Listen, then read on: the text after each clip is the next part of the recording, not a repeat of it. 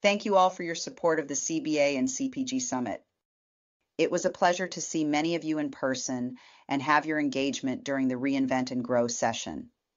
The group instantly engaged in thinking differently about growth and exploring new opportunities to generate future revenue. If you were present, you'll recognize that I'm not actually Barb Bukovac. I'm an AI created avatar that played Barb to introduce a session.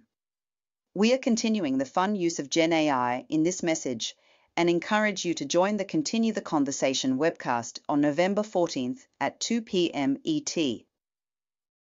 Oh boy, there it goes again. Now it's giving me an accent. It seems like it enjoys showing off. Looking forward to seeing you virtually on the 14th.